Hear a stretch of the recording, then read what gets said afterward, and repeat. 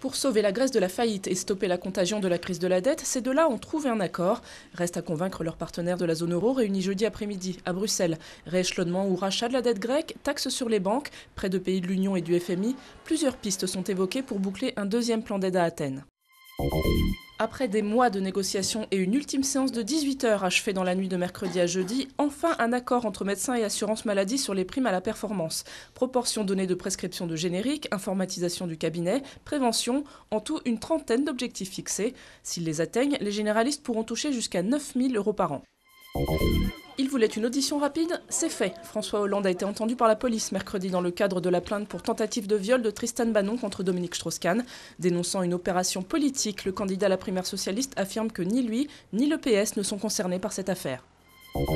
Un point pour Airbus dans la guerre des géants de l'aéronautique. Avec 260 appareils commandés contre 200 pour son rival américain Boeing, le constructeur européen sort gagnant de la commande record d'American Airlines de 460 avions, livraison prévue entre 2013 et 2022.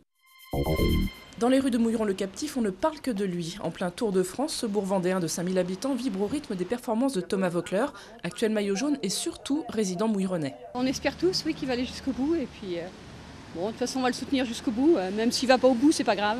Chaque jour, monsieur le maire envoie un SMS d'encouragement à son champion. Qu'il arrive ou pas en jaune sur les Champs-Élysées, peu importe, Mouilleron s'est déjà trouvé un nouveau nom. Mouilleron-le-Captif va changer de nom, on va l'appeler Vauclair City. Et ce sera la cité du maillot jaune.